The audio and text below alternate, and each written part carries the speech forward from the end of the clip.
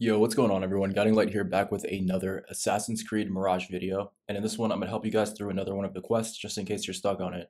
So once you guys get a few hours into the game, this is going to be one of the first missions after the prologue. You're going to have to actually go and locate the Bureau.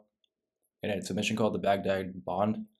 Now, when you get to the quest objective, it's actually not going to direct you exactly where to go. So you might be a little confused as to why this is happening. In this video, I'll show you guys exactly how to get to the Bureau and why this is happening. So once you guys get to this general area, this is actually not the exact area that it's going to show you where to go. And you can stumble around on foot or on rooftops trying to find the places that it tells you to go, but there's actually a much easier way. So if you accidentally skipped through this portion of the tutorial or just didn't understand it when it popped up, what you will have to do is actually go into your Eagle Vision. So go ahead and spawn up the Eagle. Now, if you guys don't know how to do this, go into your controls and just simply look how to summon it. But on PlayStation, it is up on the D-pad. So now that you have a better view, you can actually go ahead and find this bureau pretty easily. So as you're flying around in this eagle view, you will see basically the Assassin's Creed logo located on one of these rooftops.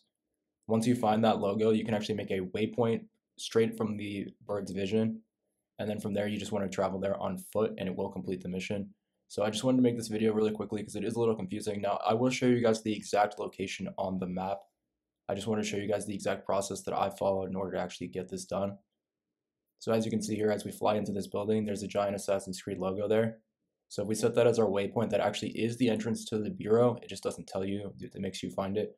So I hope this video does help you guys out. We'll really quickly go and run over there.